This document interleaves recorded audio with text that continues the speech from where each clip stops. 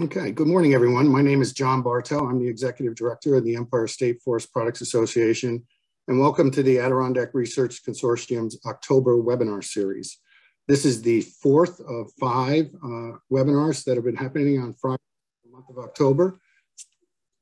Three, three of them are already recorded, and you can find them on the Adirondack Research Consortium YouTube channel on their website.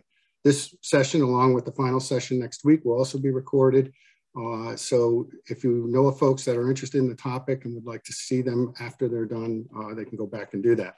Today's uh, webinar is uh, focused on meeting the demands of climate change or of a changing climate with a focus on forests and wood products as a natural solution to climate change.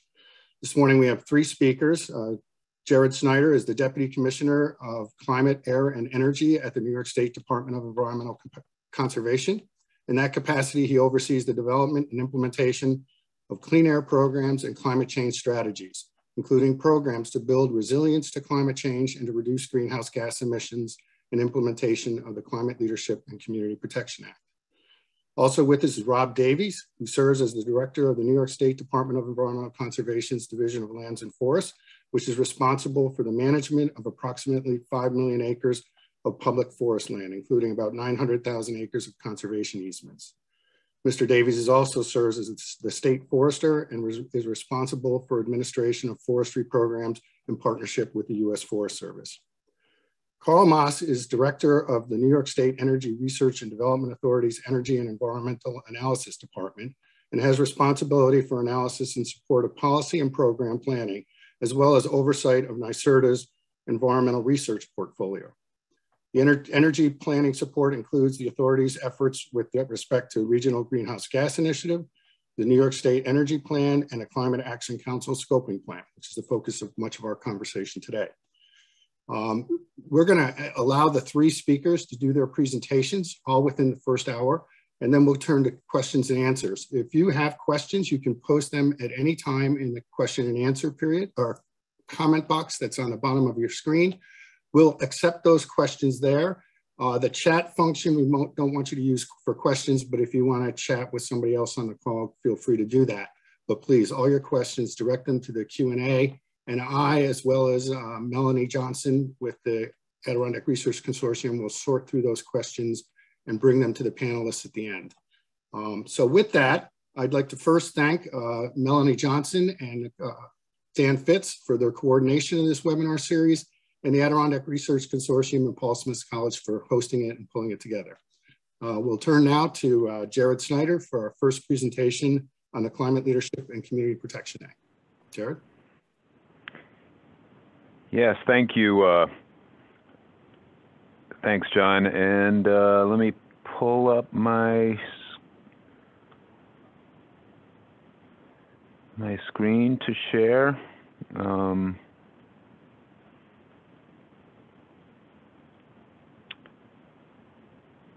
Does everybody see that? Yes, but if you click on the full view, it'll be larger for them.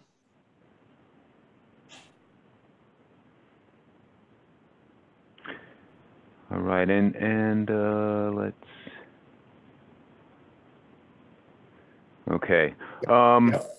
So I'm going to uh, walk through, you know, pretty briefly the the Climate Leadership and Community Protection Act, which is the the groundbreaking legislation um, enacted in 2019 that that basically establishes the framework for the state to meet very ambitious um, emission reduction goals to combat the the climate crisis.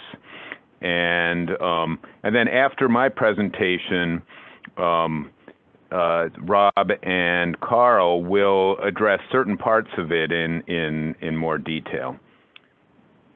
So the the legislation establishes very aggressive emission reduction goals. Um, uh, these are from 1990 levels 40% emission reduction by 2030, 85% by 2050. Those are emission reductions, but it also establishes a goal of carbon neutrality in um, 2050, and that's really where you know sort of the the forest um, sector comes into play because of the ability of forests to sequester carbon and get us from that 85% reduction to carbon neutrality.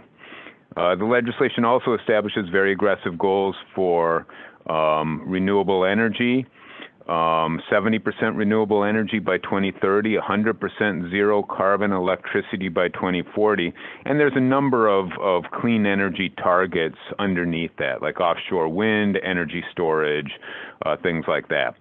Um, it the the law has uh, establishes you know a, a, high priority on achieving environmental justice and just transition um, as as we are achieving these goals, and it establishes a climate action council that is to develop a scoping plan to meet those goals and um, so the, the the council has been been hard at work over the last you know um, really year and a half to to develop that scoping plan.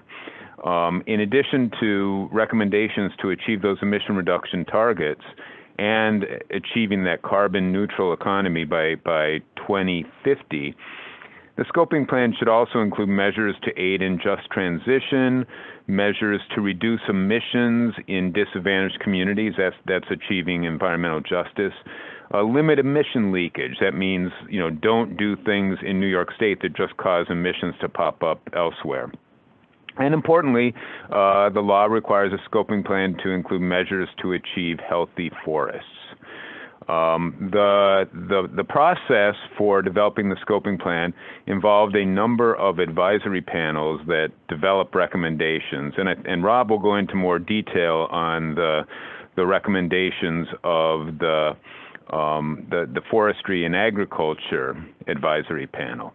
There's also a Climate Justice Working Group um, that provides its own input.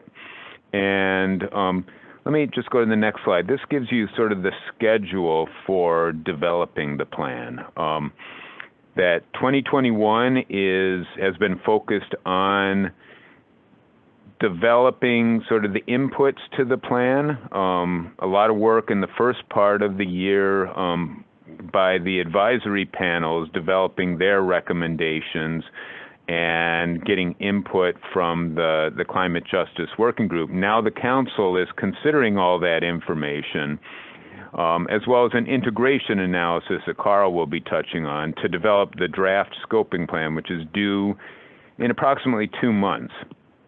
Then next year will involve getting public comment on that draft plan um, with a goal of or a requirement to deliver a final plan by the end of 2023.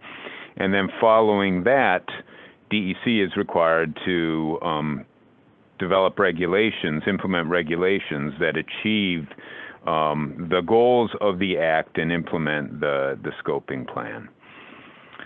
So um, Carl's going to be touching on the integration analysis. This just shows a little bit, you know, drills down a little bit in 2021 to show how the integration analysis fits into um, development of the scoping plan. The integration analysis is the process of taking all of those recommendations that were produced by the the seven advisory panels and um, and and additional input from the Climate Justice Working Group, for example, and and figure out do, do those recommendations achieve the emission reductions were required.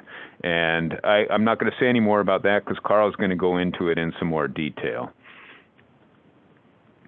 And uh, so, what, as I said, once the scoping plan is done um, at the end of 2023, DEC is required to promulgate regulations in 2023 that ensure compliance with the reduction targets, um, reflect the findings of the scoping plan, maximize net benefits, reduce leakage, benefit disadvantaged communities. And um, and the law also require or allows DEC to adopt what's called an alternative compliance mechanism, which essentially offset mechanisms to achieve the additional reductions needed for carbon neutrality. So DEC is required to establish those regulations. The law also allows other agencies to pr promulgate regulations that contribute to meeting the emission limits. And as you'll see from um, Carl's discussion of the integration analysis, there's a lot of work for a lot of different agencies to to achieve these emission reduction goals. It's really, you know, an all hands on deck approach. So next slide, um, and I guess I don't need to say next slide because I'm doing the slides. Um, the I just wanted to drill down a little bit into a um, a report that DEC is required to produce by the end of um, this year, and that's an emissions report. Basically, um, the process of using the accounting methodology, which is a pretty unique accounting methodology required by um, the legislation, to develop um, to, to, to develop sort of the, the what the emissions are in New York State, what they've been over the period from 1990 to 2019, and then that that you know sort of shows us what progress we're we're making on achieving the emission reduction goals. And periodically, we will be producing additional you know emission reports following the same methodology to track progress in implementing the scoping plan, progress towards achieving those emission reduction goals. This emissions report will include a, a special report on agriculture, forestry, and other land use. And um, this slide just describes that in a little bit of detail. Um, that that as, as far as the forestry um, forestry is concerned, there's it's it's looking at the the removals that are taking place now. So, um, you know, with the other sectors, we're more focused on what their emissions are. In the forestry sector, what remo- what carbon removals are are being accomplished, achieved right now by the forestry sector to really provide a basis for for understanding where we need to go from there. And so it looks at um, two categories of removals: harvested wood products, where you know, the wood is then sequestered um, in wood products, wood buildings, things like that. Um, and also land use. Uh, for both of this, both of these categories, the the report uses um, data um, from the the uh, U.S. Forest Service. And um, the findings right now, and this this report is going to be finalized at the end of the year, but but um, just draft findings have been shared in in a, a public process to to develop input for that report. Um, what we're seeing is is you know currently removals of carbon um, by the in in you know wood products and and our forests give us about 30 million metric tons a year of carbon removals, and that that that equals approximately 8% of annual greenhouse gas emissions. So if we are to get to a point where we're offsetting that final 15%, you know, think the difference between 85% emission reduction and 100% carbon neutrality, we would need to double that um, level of of sequestration. But the problem is, you know, the removals have declined um, since 1990. So we need to to you know sort of turn that around and and develop policies um, that that will enable us to increase the amount of sequestration.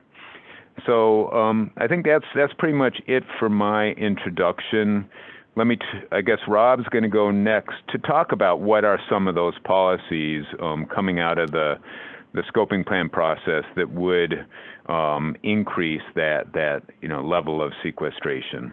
Um, so I don't know, John. Do I turn it back to you or or over to? Yeah, I'll take it for a brief second, but we'll have Rob uh, get ready to go and line up here. But I just want to remind folks if you have questions, be it on the process or any of the technical things that Rob and Carl do, please post them in the Q and A function on the Zoom screen. So with that, Rob Davies, please go ahead.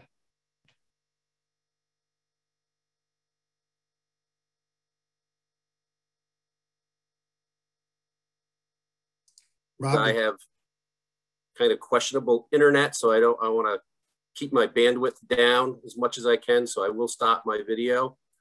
Um, I am pinch hitting for uh, Peter Innes.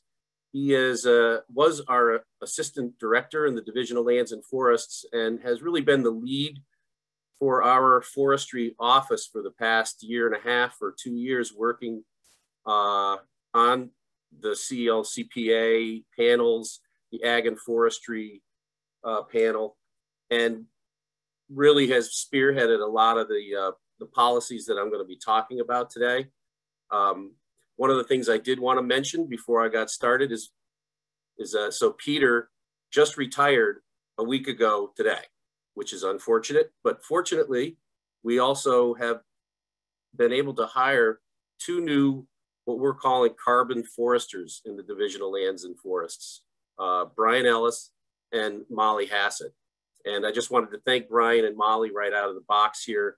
Uh, they, they helped me a great deal in putting this uh, presentation together, where I'm going to, as Jared said, focus on our forests and the forestry sector and, and how we're going to uh, need to be contributing towards this net neutrality uh, in carbon that, that is demanded under the CLCPA and the policies and the programs that we can that we're thinking about and considering and proposing to try to get us there because it is a challenge.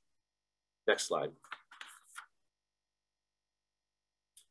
So as a quick overview of what I will cover today, um, I'm just going to briefly go over the status of our forest today, some of the factual uh, uh, information about our New York State forest, um, and going over the five forestry recommendations that came out of the Ag and Forestry panel. That's keeping forests as forests, improving our forest management, afforestation, reforestation, urban forestry, and bioeconomy. Next slide. This is a summary of the uh, CLCPA targets that Jared's already gone over in detail. Essentially, you know, what is needed, we eventually need to get 100% carbon neutrality and and, and how is how are our forests going to contribute towards that goal? Next slide.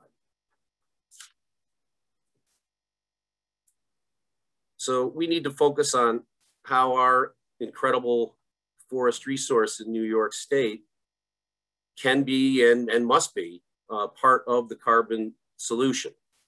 Um, unfortunately, we're kind of trending in the wrong direction. We got to reverse that and we've got to go in the op opposite direction in a significant way. We have about 18.6 million acres of forest land today. Uh, that's down a bit in the past 10 years.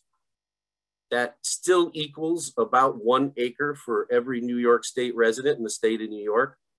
63% uh, of our state is forested. New York State's uh, about 30 million acres. Uh, we have a significantly more forest today than we did 100 years ago. Uh, but as Jared has mentioned and I've said, is our forests have seen a decrease in the last 10 years.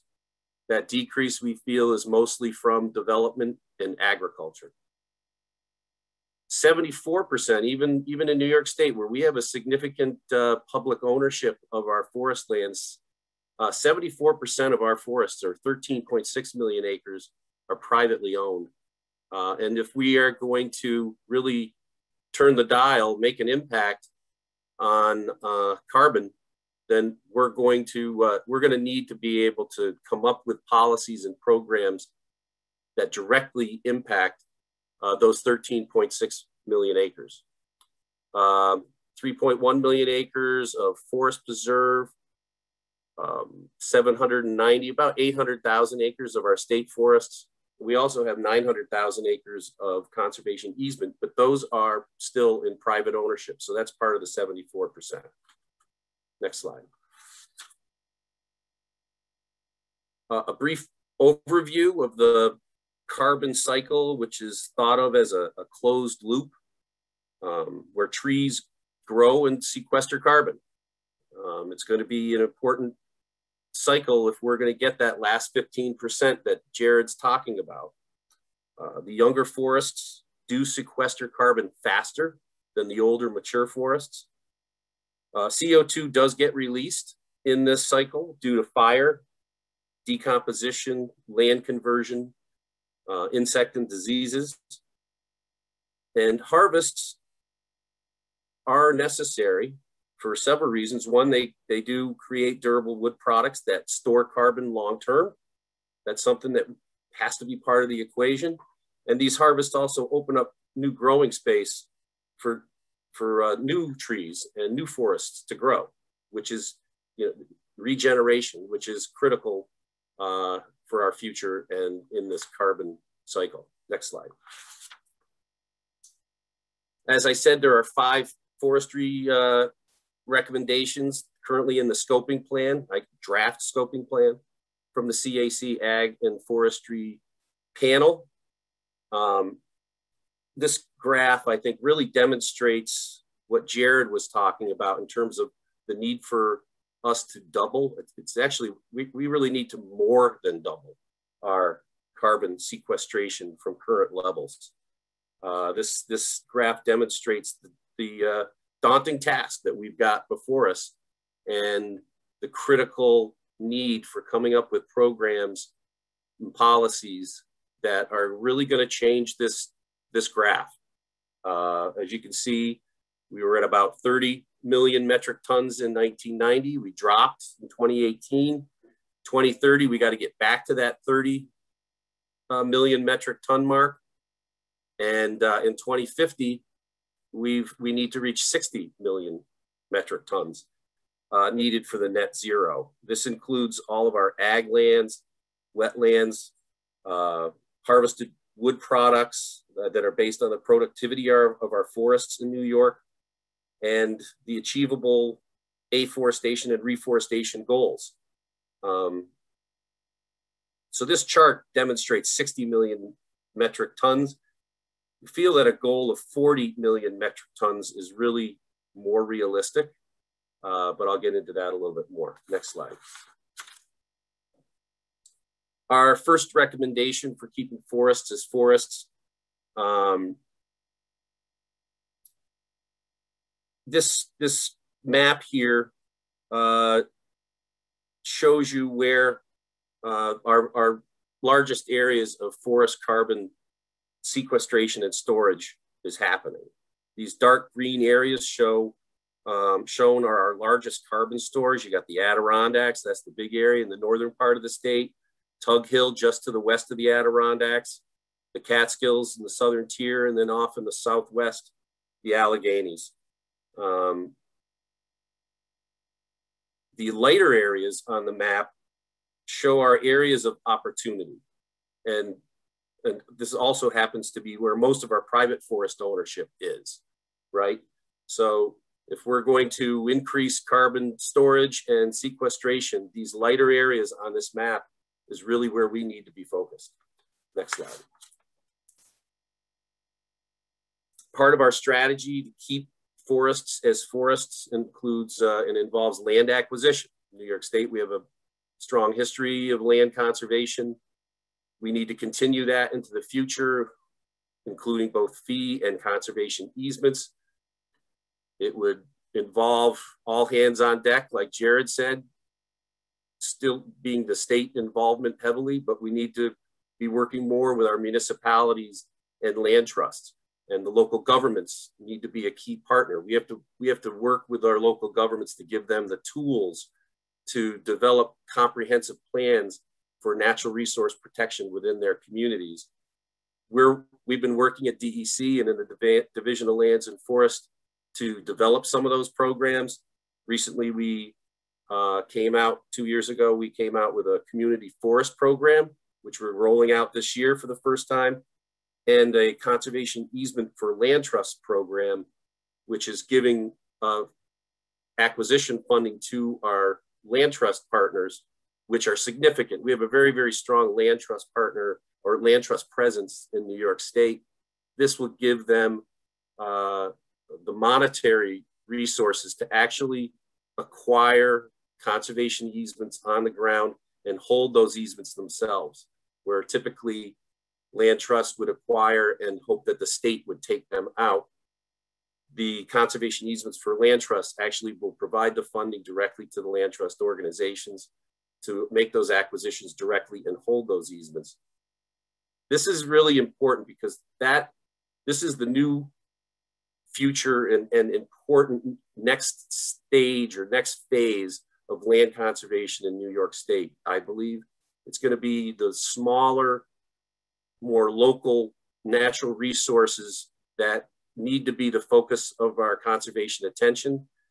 Those parcels and those resources don't typically fit neatly within our DEC and state ownership. So we need to create the tools to help our local municipalities and our land, trust, land trusts um, acquire those important natural resources that are in their backyards. Next slide.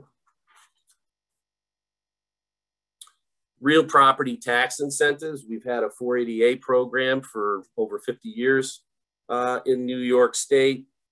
The, um, the scoping plan has uh, recommendations uh, regarding the forest tax law. The uh, we've recognized for a long time that 480A tax law really needed needs to be amended uh, and updated. Some of the things that the scoping plan are recommending that we revise 480A, we reduce penalties, uh, we include some non-forest, no harvest lands that could be considered eligible uh, within that program, which is not currently in, in the existing program. We're also talking about creating a new 480B, which drops the minimum acreage from 50 to 25 acres. Again, also allowing for non-forested land uh, to be included and have minimum carbon stocking and also not require harvests, which currently the, the current 480A tax law program does require harvesting. And importantly, the tax reduction being based on the years that the landowner is willing to commit their lands to. So the longer they're committing their lands into the tax law program, the higher their tax reduction. And a new 480C program, which is specifically going to be targeted for carbon, uh, again, dropping the acreage to 25 is being proposed, minimum carbon stocking to qualify. You need to develop a forest carbon management plan prepared by a certified carbon forester. And again, tax reduction based on the years of commitment, which would even be higher than what we're proposing for 480B. Next, plan, next slide. Um, one regulatory recommendation. So most of the uh, recommendations that have come out and that are in the scoping plan rely on incentives and voluntary based programs. This is the one regulatory recommendation that has come out and it's a regulation of the loss of forest. Um, it's critical to protecting the state's carbon sequestration potential, especially when considering the lag in the establishment of afforestation, another strategy, but there, it takes a long time for that. This would be modeled after our New York State wetland law, and it would avoid, minimize, and mitigate impacts to forests from development. And that's all development. Agriculture is proposed to be exempt due to the annual flux of working lands that from ag to forestry that happens quite often. And agriculture is not considered a permanent conversion like typical development. Next slide. Uh, the last recommendation for keeping forests as forest strategy involves the development of carbon markets.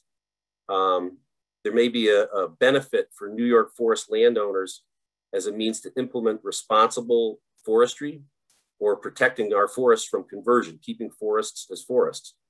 This is most important for New York private forest owners as they own 73% of our forests or 74%.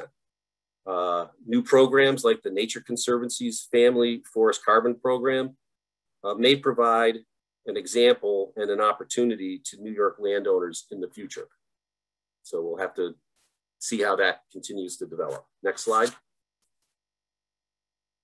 The next recommendation in the draft scoping plan is improved forest management. New York forests face many challenges to increase carbon sequestration uh, within our current forest areas. So impacts from invasive species, our aging forests, and historic high grading, which we're seeing on the landscape more and more, limit our current forest ability to sequester carbon at the highest possible rate. Next slide. So forest health. What can we do to improve our management regarding forest health? Insect diseases and invasive species threaten our New York forests uh, and combating them is critical when combating climate change. We're at the epicenter, unfortunately, of a lot of these in, infestations, and they can be quite devastating. We've seen the impacts from the emerald ash borer. We're essentially going to lose our ash species in New York. Uh, hemlock woolly adelgid, which we're seeing significant impacts from, and other invasives. Um, these tend to reduce our forest productivity and they increase tree mortality.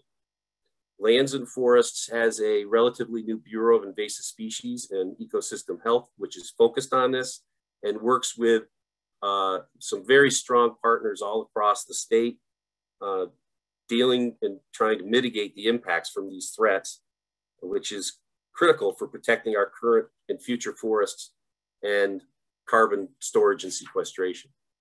Next slide. Improving silviculture and restoration. Um, that's the next strategy for improved uh, forest management. Um, talked about it already. We need to reduce or eliminate high grading, which has been uh, unfortunately practiced heavily across the landscape in New York. We need to have more outreach to landowners to educate them on the importance of good forest management. We need carbon training for our foresters. And we need incentives to improve regeneration. We have tremendous deer overbrowsing in certain parts of the state where there is literally zero revegetation potential. Uh, and we have serious competing vegetation problems towards regeneration. It's one of the reasons that three years ago, DEC, we created a new program called Regenerate New York. Uh, Regenerate New York uh, provided about $450,000 in assistance to New York landowners uh, last year for reforestation, afforestation, and improved forest management. Um, in this map, the red to dark green areas are showing the regeneration of insecurity. Um, most of the state is either in regeneration failure or insecure with only a small area that's in the northeastern section of the Adirondacks of having secure and regeneration. Without secure regeneration, future forests uh, could be threat threatened in the event of natural disasters or other events where the overstory is lost. And as I've said, high grading and high graded stands limit the current and future sequestration of forests. Next slide. The next strategy from the scoping plan is afforestation and reforestation. Um, New York's forest sequestration rate decreased, Jared mentioned this, uh, decreased about 3.5 million metric tons since 1990 due to the decrease in forest land area and a decrease in forest productivity due to the aging forests. Our forests are aging, they're maturing out, uh, leading to a need to increase our forest area statewide to meet ambitious climate goals. Next slide. Afforestation and reforestation. TNC's reforestation calculations and plan have calculated that a maximum and we think an unrealistic acreage for afforestation in New York is almost 4 million acres. There are currently about 1.7 million acres of underutilized farmlands that could be an opportunity. However, planting trees is extremely expensive. It's time consuming, uh, especially for hardwoods. And you need to tend to these trees when you're planting them. You can't just throw them in the ground and walk away.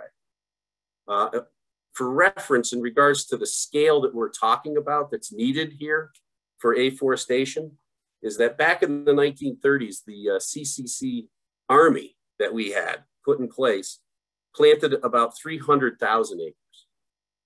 Um, current estimates show a need to reforest at least 1.7 million acres to combat forest loss and improve sequestration. Uh, the level of planting that we're talking about um, needs to be taken into context. Our, our nursery, we have one state nursery in Saratoga for tree seedlings.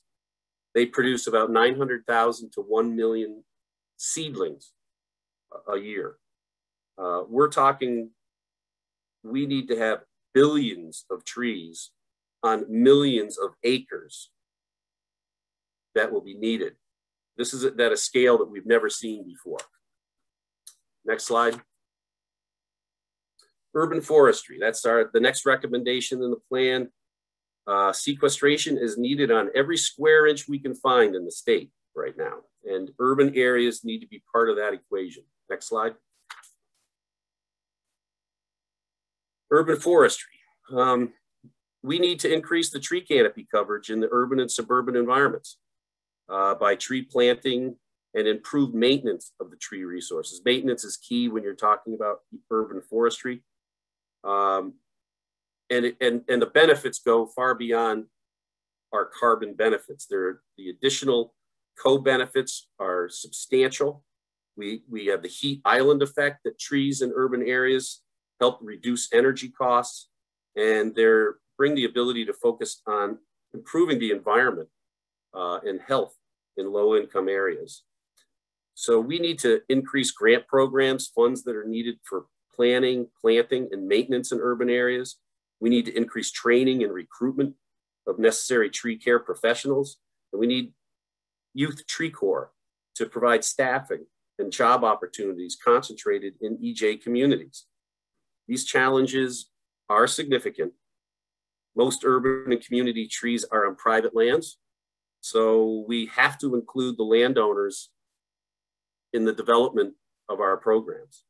Uh, planting stock availability, as I've said, that's a real challenge uh, for us right now. We need, we need trees to plant and we don't have them right now. And we need to include communities in urban tree planting efforts to buy in and help meet community goals.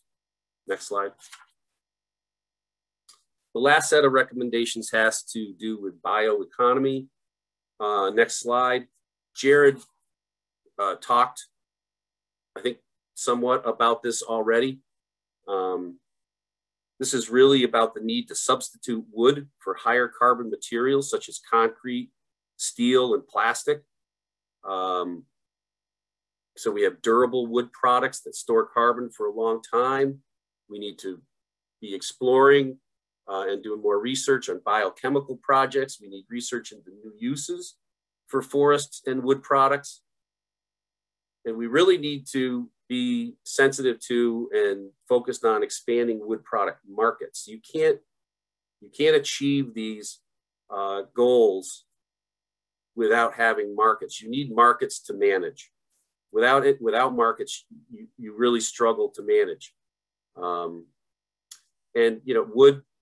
The, the reason that we're we need to do this is that wood can provide a substitution benefit by replacing products that emit high levels of greenhouse gases in their production. And that's what this, this chart is, uh, is showing. This chart is from Bob Malmsheimer, professor at SUNY ESF, from his Forest Management Solutions for Mitigating Climate Change. Uh, the chart shows the carbon footprint of different construction materials compared to wood uh, and the benefits of using uh, wood construction materials over them, over those materials. Next slide. Uh, thanks, thank you. I think that's the uh, end of my presentation. We'll have questions at the uh, the end, and I hand it back to you, John.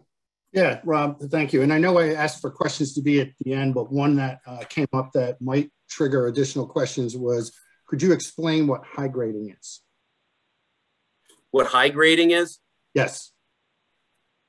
Very briefly. Uh, take I taking the best and leaving the rest. Where we're high grading, you go in typically by a logger, um, goes into a, a woodlot, a, a forest stand, and removes all the the, the genetically the, the best genetic uh, resources in there and leaving really a depleted, uh, non-diverse uh, wood stand behind.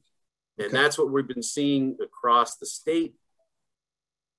It kind of leads to what we call the, the green lie, where you, you can look at a forest and, it looks green, but that does not mean that we, it's a healthy, resilient, uh, diverse forest ecosystem, which is what we really strive for when high grading depletes all of that. Okay, thank you. I just wanted, because there'll probably be other questions or comments associated with that. So Carl, Carl from uh, the New York State Energy Research and Development Authority and doing the integration analysis. Take it over, Carl. Great. Uh, thank you, John, for moderating. Um, and thank you, uh, Melanie and Dan, for hosting. Um, let me see here. I'm looking to share, and for some reason, my sharing isn't popping up. Give me one second.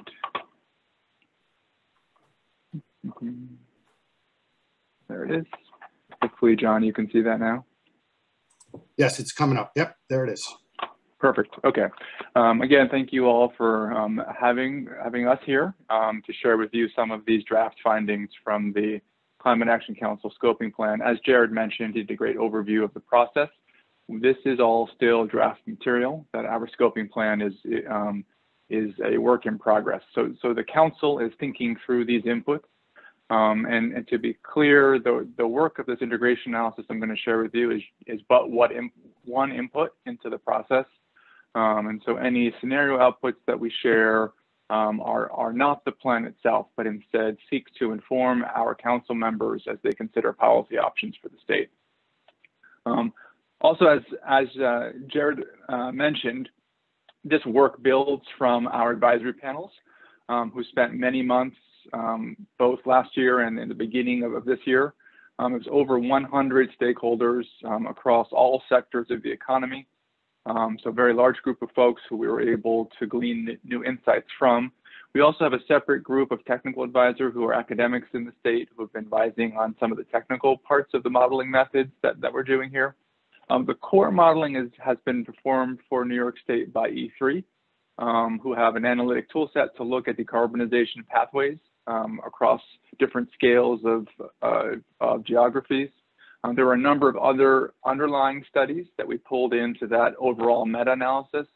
Um, that work was done for us by other consultants, as well as um, a number of uh, uh, state staff members. Um, a, a, lot of the work, in fact, for the agriculture and forestry work came from those agencies. So DEC played an instrumental role in helping to feed our scenarios around uh, net, net sequestration from our natural and working lands, as well as some of the opportunities for mitigating emissions, as did Ag and Markets. Um, so really want to thank staff from uh, both of those agencies who were instrumental um, in giving us the opportunity to look at a, an economy-wide analysis. Um, so with that, um, let's, let's, let's dive in. I'm going to try to wrap up um, before the end of the hour. So I'll be moving a little bit quickly through my slides. Um, I'm going to give an overview of some of the key findings and kind of a little bit of, um, I think, some, some important information on the actual underlying methods that the CLCPA calls for. I think it's really important um, for everyone to understand them, but certainly this audience to understand how biogenic and how bioenergy systems are being treated.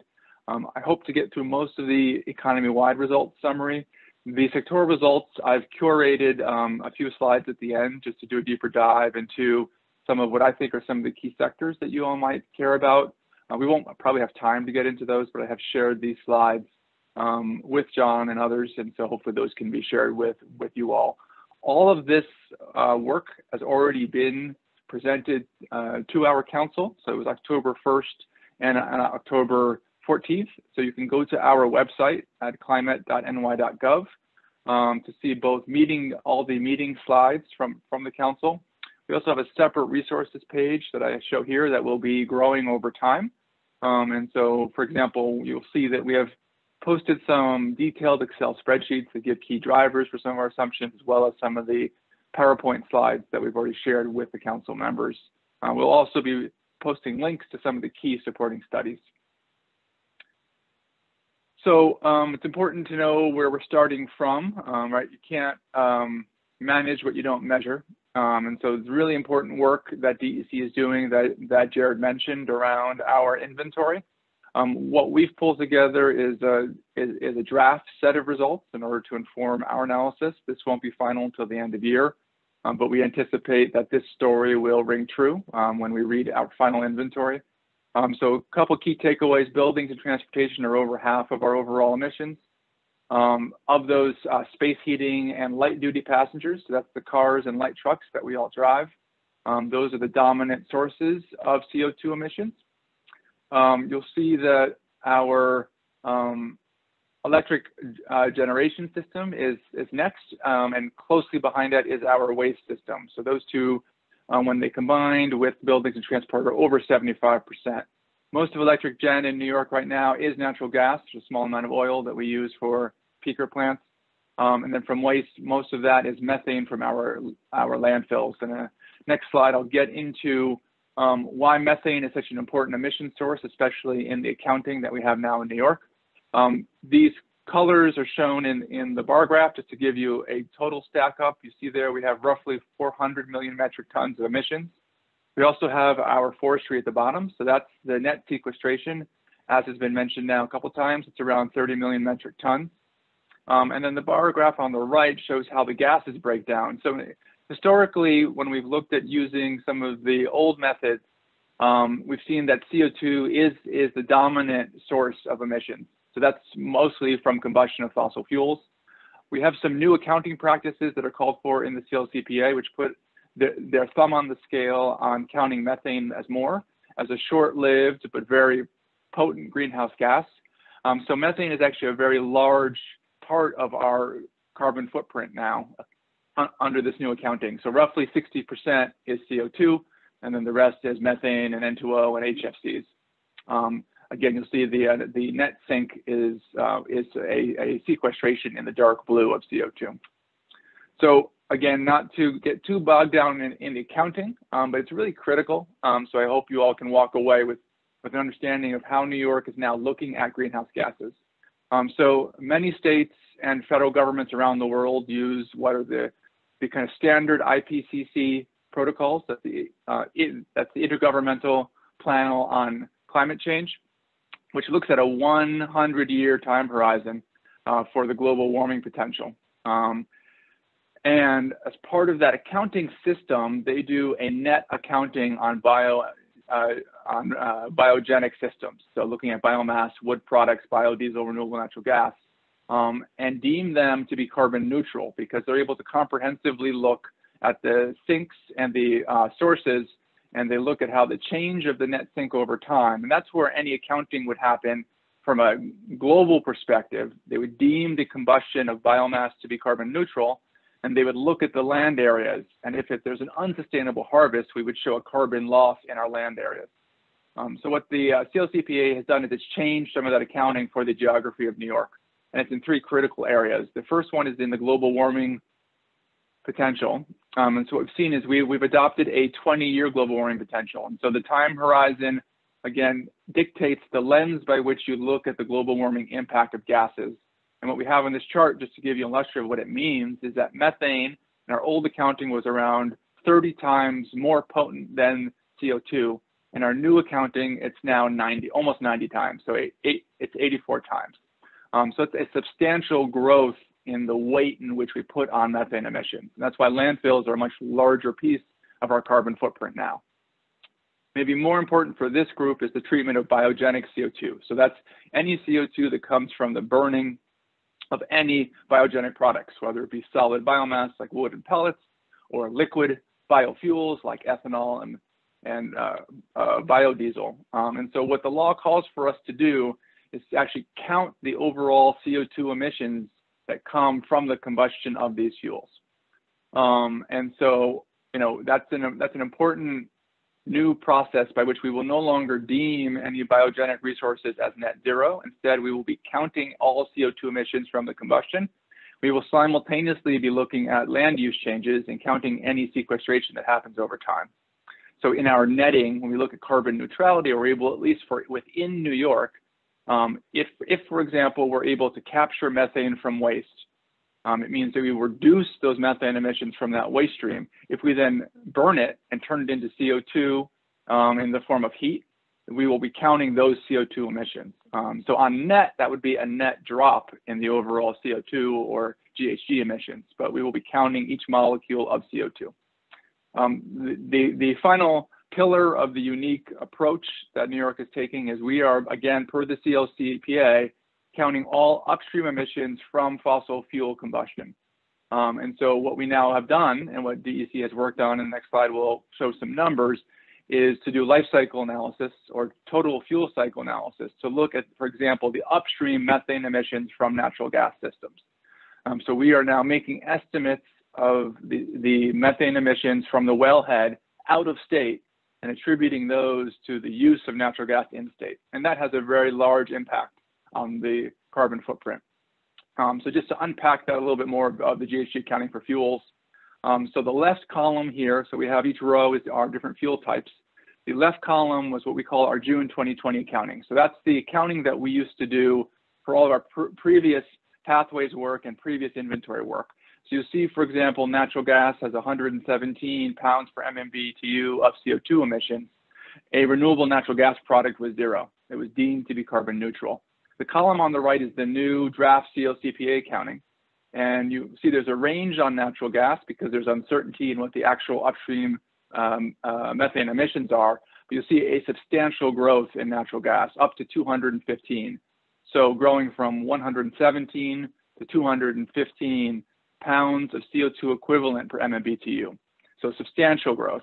Um, and what that means now is natural gas is equivalent to distillate fuels like, he, like home heating oil and like diesel. Um, and so that's, that's a very different paradigm than we've had in the past. And it has implications on how we do accounting today. It has implications on how the, uh, the uh, path we've taken since 1990. So over the years, we've shifted from coal, we've shifted from distillate fuels into natural gas. And we had previously thought we were going to be earning a carbon benefit from that fuel switch. And what we see from the new accounting is that we have not. Um, and so it calls on us, therefore, to be even more aggressive as we look to the future to, to decarbonize faster. Um, and then the other one, obviously, to be clear on is that our biogenic resources are no longer deemed carbon neutral. So you see that a renewable natural gas product, um, now we will count all the CO2 emissions from that. So it's now at, at 117. So some pretty profound accounting changes that ripple into all the work that we will be doing. Um, and just to look at how it's changed, um, our actual, how we think about ourselves in, in our carbon footprint. So we used to say that we had 200 million metric tons with the state's carbon footprint. NYSERDA has managed that inventory now for over a decade, working closely with DEC. Um, and that was, again, uh, that was an economy-wide look, so not just energy.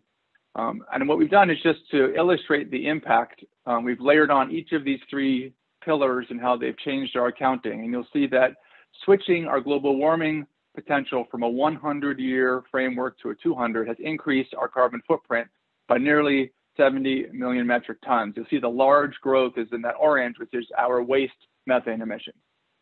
Um, the next step was then to start counting our biogenic CO2. It's a smaller impact on our footprint, but it's over 10 million metric tons of emissions that we're now counting that we haven't in the past. And then the final one, which is the largest, is the increase from the upstream fossil fuel emissions. So you see it's nearly 90 million metric tons that we've added to our accounting for our carbon footprint. So we've grown all told from 200 in the old accounting to nearly 400 million metric tons.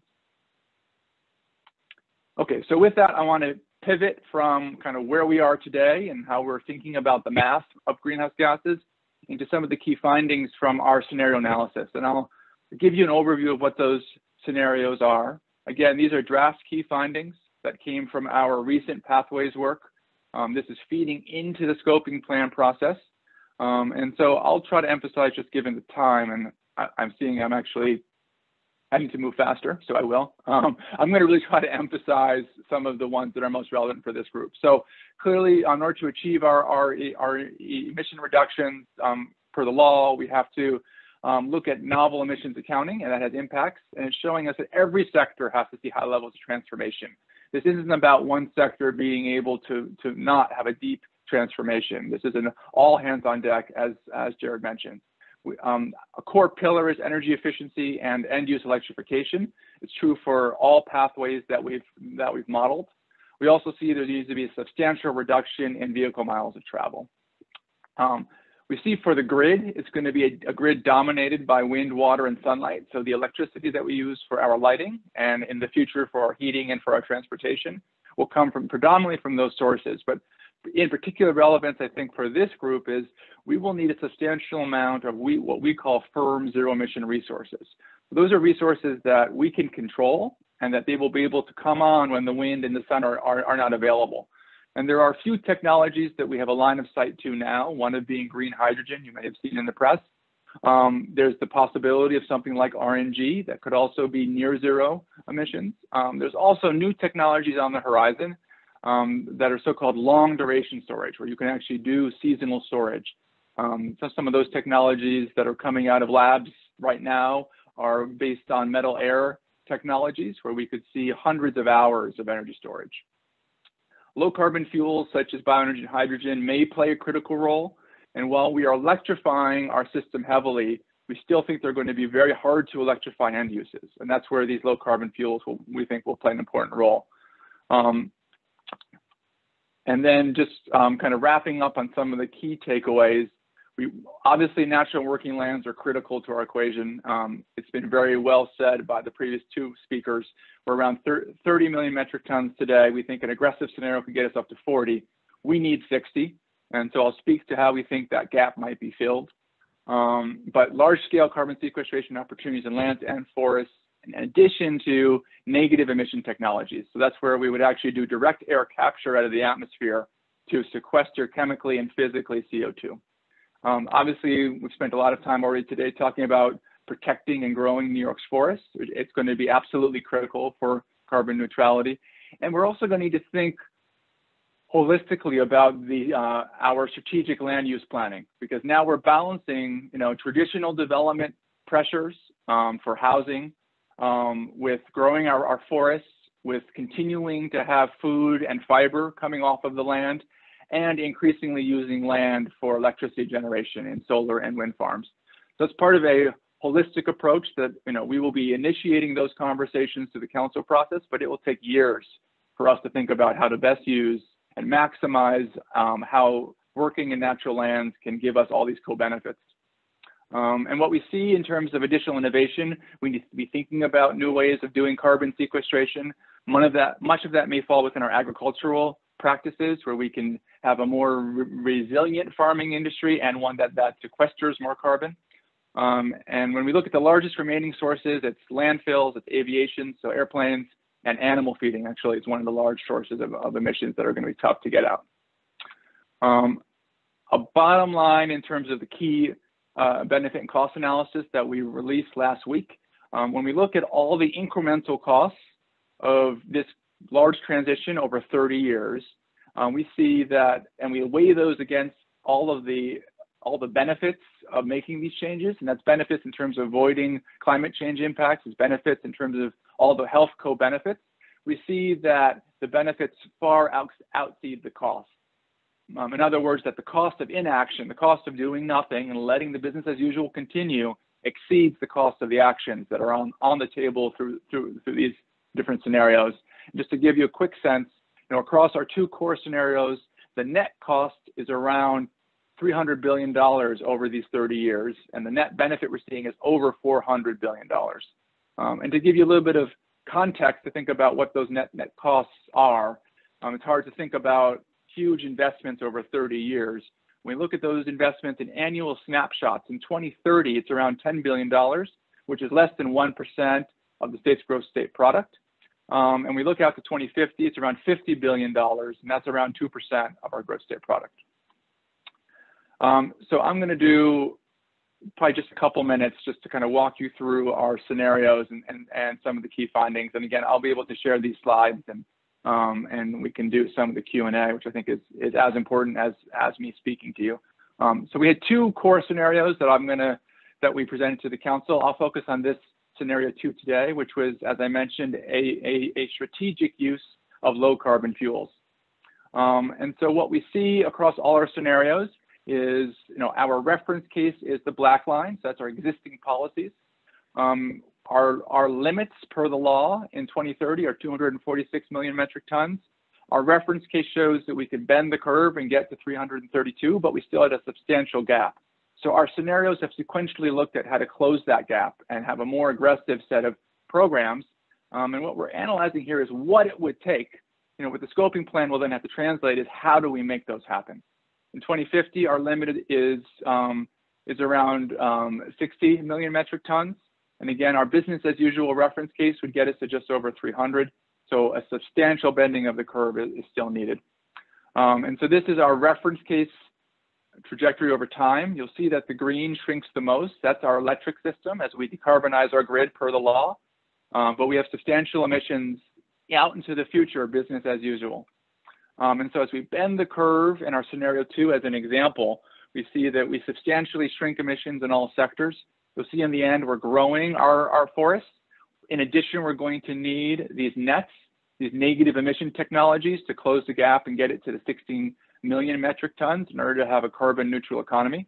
And as you'll see in the colors in 2050, as I mentioned before, we see some of the hardest to decarbonize sectors are the, are the waste system, our aviation, um, and then there's agriculture and industry.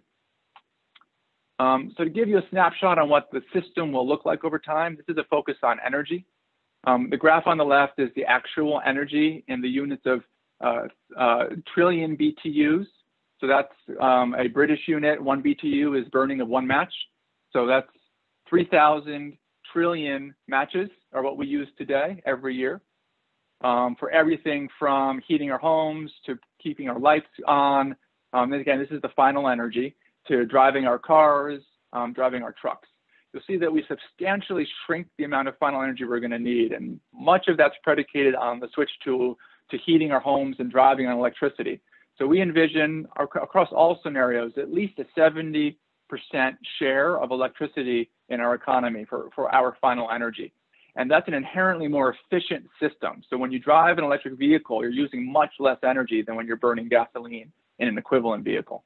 We see an important role in this scenario for, for bioenergy products um, in the end state, predominantly around aviation, um, where we can use you know, high energy intensity fuels to help fly our planes. We see hydrogen could potentially play around a 10% share of our final energy mix. And along the way, we're seeing a role for other bioenergy products that can allow us to begin to bend the curve on emissions.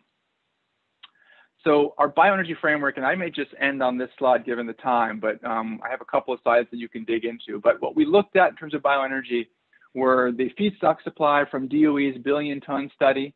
Um, we've done our own potential studies over the years to look at in-state, you know, looking at waste products, looking at potentially dedicated energy crops.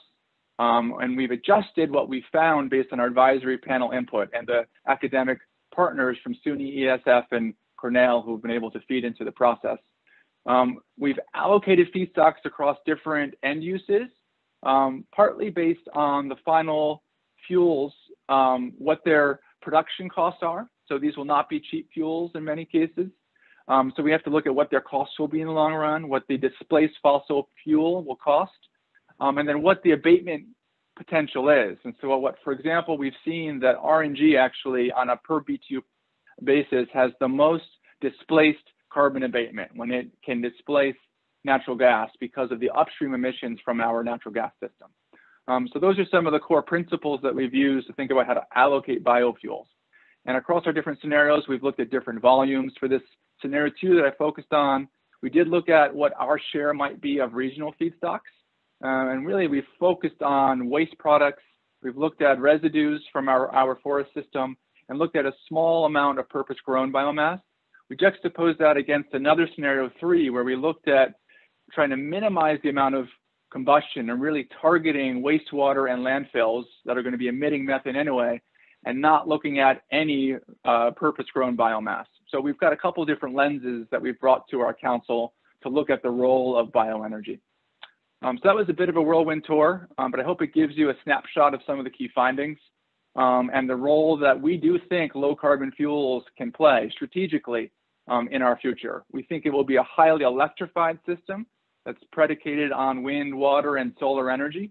Um, and solar energy being stored in the form of bioenergy and hydrogen, we think could play a, a strategic role in that future. Um, so with that, John, I'll, I'll, turn it back to you. I know we're at the hour. Um, hopefully we have at least 15, 20 minutes where we can go through some of the questions. We do, we definitely do. And uh, I think what I'll do is start to sort through some of these questions uh, and, and can you all see them, uh, the, the panelists? So I hope you can, but I'll, yeah, maybe if you can read off key ones. Yeah. So I'm going to go to the first one there. There's some evidence that warmer, wetter soil conditions are increasing the decomposition rate of soil organic matter in forested lands. One of the byproducts of decomposition is CO2.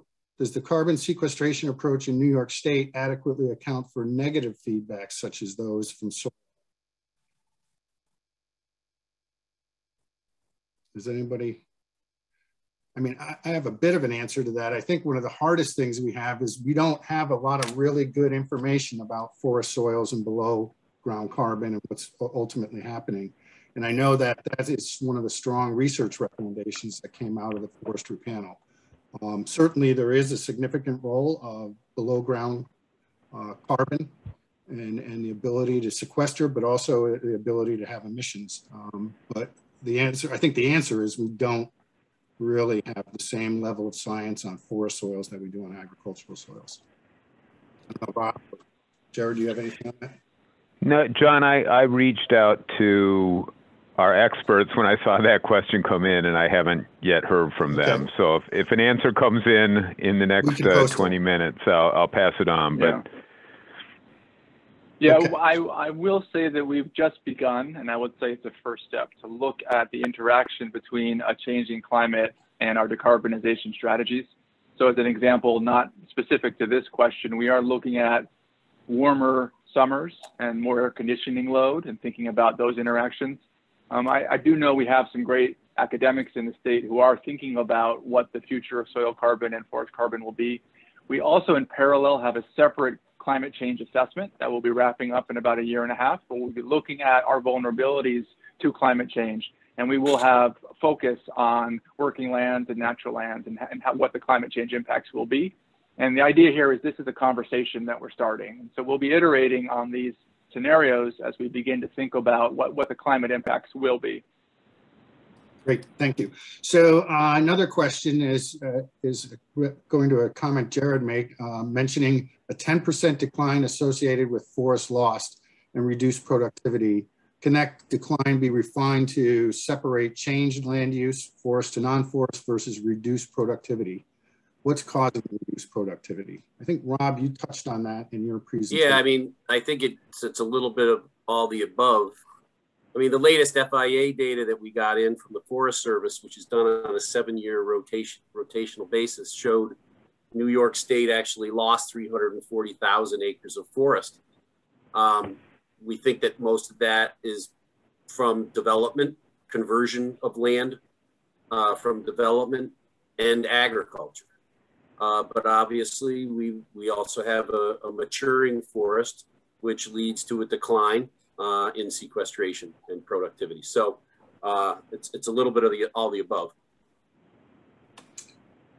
Um, one of the questions that came in a different way to me, came through a text to me, but I'll, because it adds on this, is New York considering uh, uh, a regulatory factor on siting renewable energy resources on agriculture and forests, similar to that that's done in Vermont, where they're attempting to steer away the loss of agricultural and forest lands due to renewable energy siting?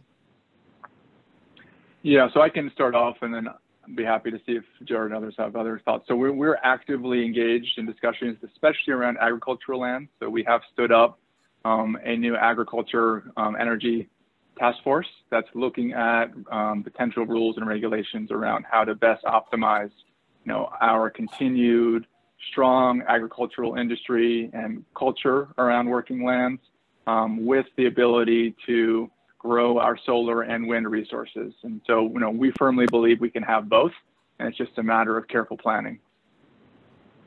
Okay. Uh, here's, here's a similar question. To regulate the loss of forest land, will regulations be tied to local zoning and planning law? If not, local governments may still opt for development. Rob, you touched on that in your. Yeah, I mean, I I would say it, it needs to be similar to what I said, the wetlands law. It needs to be a statewide law. I don't think it can be left. You know, this we've we've got a big lift ahead of us. So we've got to be consistent and, and unified, and so that requires a statewide approach. Um, and because uh, I, I, believe, I think it was Hugh who asked that question. I, I think he was right. A lot of communities would probably opt for development. Um, but I, I, will also say I am seeing more and more, you know, where I sit in my chair, uh, in the director of lands and forests, I am seeing more and more communities reaching out, wanting the tools to be able to protect really important resources in their communities uh, that they see vulnerable to development that you know really changes the character of these communities. Um, and we're trying to develop those programs to give them those tools okay um, this one I'm not sure. This is probably for Jared, but is there an estimate of time on the scoping plan until we reach carbon neutral foresting, forestry? Well, the, the goal is is a carbon neutral economy by 2050. Yeah. And that's what the the Climate Action Council is is planning towards. Um, you know, the the sequestration in the forests will contribute to that goal. I mean, the sequestration in the forest more than outweighs any emissions from forestry. So it's not really a question of carbon neutral forestry, it's the contribution of forestry to a carbon neutral economy. Okay, building on that, I, I, um, there was a question here. Uh, Get to it. Okay, there was a question uh, for Carl on this, but maybe Jared as well. Can you speak to the option of low quality wood products being used for bioelectricity in the state? Yeah, so under the uh, new accounting, we will be counting every molecule of CO2 that comes out of any combustion, whether it be for electricity or for heat. Um, so that is part of our overall carbon footprint. Um, so what we need to think about is how to do the full and comprehensive accounting. So for example, if it's a waste product, if it's from a sawmill and they're making pellets for heat, you know, what would have happened anyway with those pellets or, or with that uh, sawdust? And if it will decompose, um, I think we, you know, we're going to need to take a step back as we think about individual policies and how we do carbon accounting. Um, so our measurement will be looking at every molecule. As we think about individual policies and how we fund changes in the state, we'll be needing to look at, you know, what is the what is the net story for an individual feedstock as it makes its way to an energy service. That's an interesting, and then maybe maybe you answered this question that was put up, but how can you give a standard CO2 emissions for biofuels when the sourcing, the carbon impact of the source material is part of the equation? And is unique to each system. And I think you just kind of answered that as to how you're going to do that. Yeah, I hope so. And I, I, and there's some nuance here, so I do want us to kind of think about it. That we're counting every CO2 molecule, but as we implement policies, whether it be fuel standards or when we think about incentive programs, we'll need to holistically look at the individual feedstocks fuel cycle and think about how we want to incentivize that. So if it's grabbing waste methane that would have already been going to the atmosphere. Obviously, we care about grabbing that and destroying it. And so individual policies will have to think in discrete ways. I think that's good. Um, yeah. Now you're on camera. Okay. Now, to what extent would or could locally raised grass-fed livestock, e.g. pasture, silvopasture, offset emissions attributed to the animal I don't know that we have an agriculture. Yeah. So right. yeah, I mean, again, I guess as a at a basic level, to the degree we can have more carbon sequestration in the soils, so as we're growing feed, that will grow our sink and will help us hit our 2050 goal. So we have to absolutely come up with those programs and policies. Um, if we can't do that in a smart way, we're going to have to exceed 85%. Um, and so clearly innovation around animal feed, both how it's grown and how it's consumed are going to be critical. And it's, and those are, you know, that's our 2050 challenge is to think about how we can do animal feed in a way that's both lower carbon intensity. There's some really interesting studies being done now in terms of augmenting feed with things like seaweed, um, augmenting feed with, with other products that can reduce that, um, that, that source of methane. Um, and then we need to think about how we grow the feed. And if we can make that a more of a net sink over time, it will help us to, to realize our goals. Great, thank you. Um, this is a question on cap and trade or carbon markets. Were New York State to develop a cap and trade market, how likely is it that polluters be required to offset their emissions on a scale greater than one to one? At least a two to one would be necessary to ameliorate the greenhouse gas levels rather than keep them stable as a one to one would. So I, I, I saw that question come in, and I'm, I'm not sure I completely understood it. Um, you know, if we're offsetting at, you know, giving double credit to the sequestration, for example, then we're not we're we're not achieving the goal of carbon neutrality. Yeah. And um, so, you know, there, I, I guess I would just say that that you know, offsetting emissions in carbon markets is is one tool.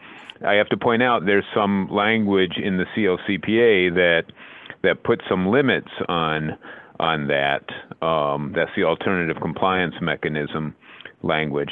But there's other tools that we would use to support um, sequestration, you know, besides offsets. And, you know, those are made all the, you know, many of the policies that Rob talked about. So, um, and, and so it could be the interaction of these policies that, that help us achieve the level of sequestration needed. Just building on that a little bit, you know, you're, you're correct, Jared. Uh, the, there's extreme limits on carbon offsets within the CLCPA. Um, but our forest landowners will have the opportunity to participate in national or international carbon markets.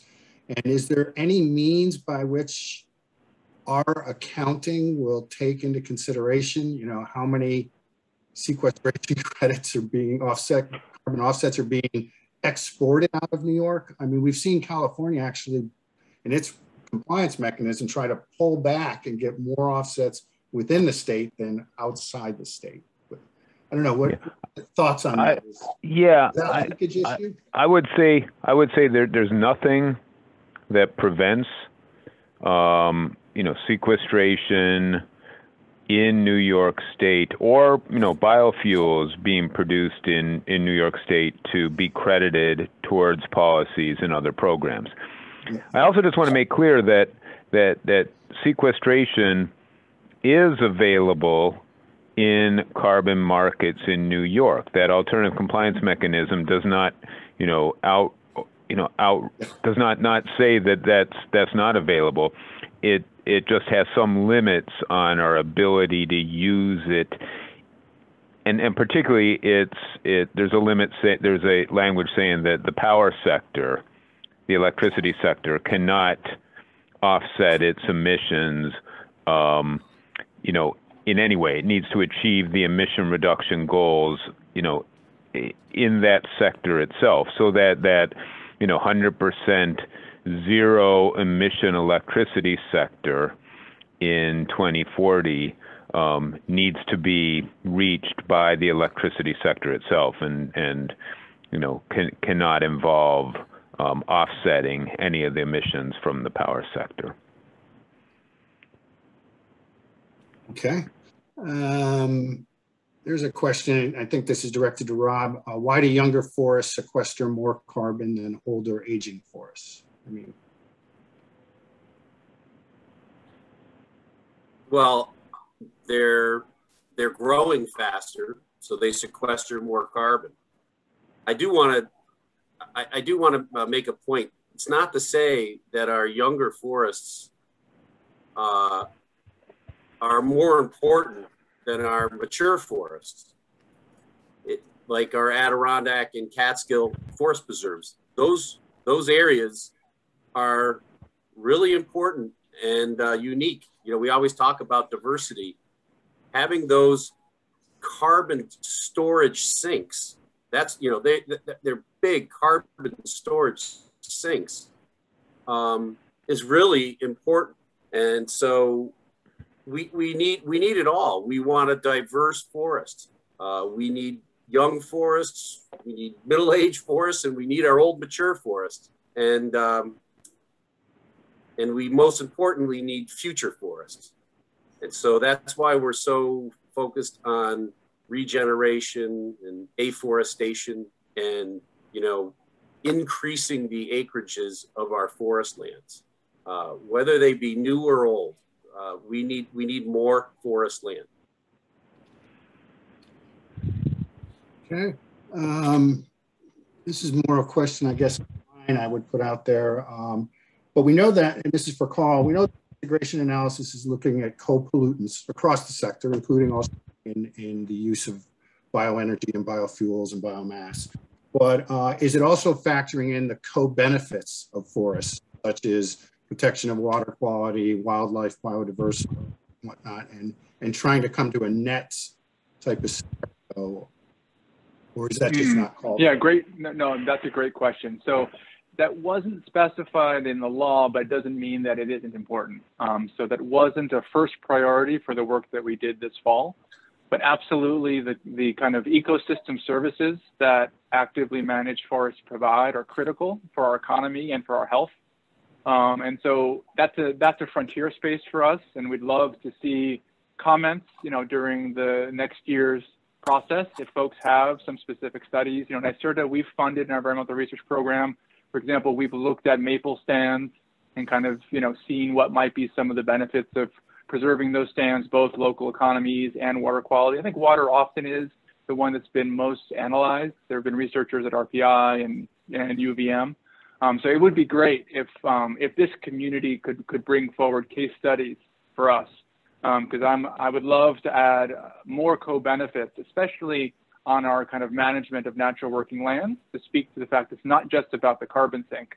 There are a host of services that our forests provide.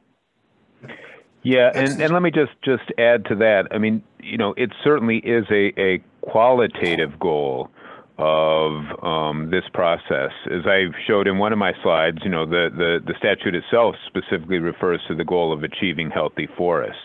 Mm-hmm. And and so in developing the scoping plan, you know, the council can consider all these other benefits that strategies bring to bear, whether it's reducing other types of pollution, helping grow our forests, um, you know, achieving you know, healthier communities. Um, all of those are relative are, relevant to the work of the Climate Action Council. Might not be able to quantify those benefits, but but they're certainly there. Okay, excellent. Um, another one that I'd, I'd put forth is uh, in some of the other advisory panels, we didn't see as much on uh, the the uh, carbon storage through the use of harvested wood products, particularly in the construction and infrastructure arena, or the uh, substitute benefits come out as strongly. So just curious, you know, how would you have this sector and its comments start to say, hey, we can achieve still some substantial more storage benefits as well as substitution benefits. And I know, realize substitution isn't always as quantitative, but how do we influence that element of it in terms of reducing emissions, or is it relatively insignificant in the bigger picture, like when it comes to construction in particular? I, I would I would say that we're we're interested in any input that um, you know that that that stakeholders can provide on that. Um, you know, we we are still very heavily reliant on those high carbon construction materials that that you know Rob showed in one slide of of you know cement and steel, and to the extent there's strategies that can um, you know enable the substitution of those materials with with wood, where where you know we are sequestering that wood um, in a building or in a product. You know, I I we we we'd appreciate any ideas that that you know people have on how to achieve and that potential and how to increase, you know, the the the use of wood products. And I, and I think that there's a lot of interest and research going on in terms of mass timber, right? Um, we're, we're trying to see if there are some of our northeastern softwoods can be certified into some of those mass uh, mass timber tall building codes uh, so that we can start utilizing those materials more. Um, you know, we talk about green buildings, encouraging more green buildings using wood products versus that steel and cement uh, to the extent that we can. I think we have a huge opportunity on the not not necessarily right now on the production side, but on the utilization side in New York State, uh, in putting those products to use uh, in in in our future uh, development. Yeah. And and let me let me just add, you know, I saw a headline. I don't remember if it was yesterday or I think it was yesterday about a study that that plastics manufacturing is going to be surpassing in the future electricity generation as a source of emissions globally. And you know, a lot of those plastics are used in ways that we can use wood products instead. And, um, you know, that, uh, you know, I think, again, there's a lot of potential um, for, for some creative thinking there. Yeah, maybe just one other thought, and I think it's a little bit, again, out of the problem statement that came to our ad advisory panels was not focused on the embodied emissions. So to the degree that we import durable goods and the ability for us to substitute with bio-derived products. There's not a specific accounting that we would do around that. However, our housing panel did take on that topic. And so we do expect that the scoping plan will speak to the benefits of substituting for durable goods, even if they're imported. So it's not within New York's geographic boundary of where those emissions come from um, we, it still will be spoken to qualitatively. And I think that's going to have to be in a future iteration as we think about future scoping plan updates. We're going to have to get at embodied energy and, and embodied emissions. Yeah, that's a that's an excellent point, and and it's significantly one that could affect this sector in a very positive way, but also leads to the whole sustainability question. As we look to our forests and to yield these products that can be used as substitution or other other benefits, of ensuring that we are continuing to manage our forest sustainably and maintaining our carbon stocks. And it's a fine balance between maintaining carbon stocks and then increasing sequestration. But on, on, the, on the sequestration side, um, has the recommend have the recommendations looked to the benefits of bioenergy carbon capture and storage as a net negative emission? And do you see the mm-hmm opportunities for that and, and how might we address it? Knowing that there's a lot of yeah. combustion, but it's combustion that's often going to yield the ability to capture and store bioenergy carbon. Yeah, right. So the, it often has the uh, acronym BECCS, um, yeah. of bioenergy carbon capture. Um, definitely substantial global research going into this. You know, we, we think, especially for our, our, our industrial end uses, where we think carbon capture will be something that um, has the potential to play a role for some of these hard to electrify end uses. We think layering on BECCS would be a very valu uh, valuable net benefit, could be a net negative benefit. Um, again, it would be net negative in that it would create a new demand for forest products. So we would hopefully accelerate the amount of sequestration on our lands. And then we would be capturing that CO2 at that industrial site. So it would not be a, it would only be a small net emission from the site itself because no perfect capture exists, but let's say we get 90, 95 capture. Um, as a system, we would see a huge net negative. Um, and for that industrial player, it would be a near zero answer because they would be capturing. Um, so that's certainly something that we want to encourage both the innovation side, you know, the, the, our ability to look at getting, you know, carbon solutions would include that as a New York funding, but really that's a global challenge, right? How do we scale up BECCS globally. Excellent. So um, we're nearing the end of the, uh, the end, mid hour that we were going to end on, and I would just like to uh, have Jared maybe close out uh, with some final points about as we go forward. You know, how how can the forest sector and the wood product sector most effectively engage with the council, uh, particularly over the next year? Yeah, well, as, as I said, um, John, you know, we're going to be issuing the, the scoping plan for public comment at the end of this year. And um, there will be plenty of opportunities to weigh in with comment. Um, I would say in the you know first half of of 2022, and so I would encourage the you know this sector to to take advantage of those opportunities. That will include appearing at hearings as well as you know submitting written materials to the extent there's um, academic work um, going on that can inform um, you know some of these questions. You know, bring that to bear in that time period. Um, any input like that would be would be appreciated and helpful. Outstanding, thank you, and and thank you, Carl, Rob, and Jared for your time. Uh, we appreciate you taking even a little extra time on these webinar series with us. And uh, the information, it's a lot. There's a lot to get your head wrapped around. Uh, I think it's even going to be bigger when we see the scoping plan. Um, so uh, we appreciate it. And I, I just want to say that NYSERDA and DEC have given our sector a significant amount of time uh, over the past two years of trying to address what are complicated questions. And, and yep. we've all learned a little bit and we all have, we all still have lots of opportunity to learn going forward. So with that, uh, I don't know, Dan, do you have anything you want to say at the end or? There's, I don't even know if Dan's still here. Well, thank so. you, John. That's what I'll say. But yes, thank you, yeah, everyone. No, thank you and, for, for, for, yeah, thank you, John, Melanie, Dan. Thanks for the forum. Thanks, thank everyone. you, everybody. Stay tuned. So, have a Thank great. you. Good job.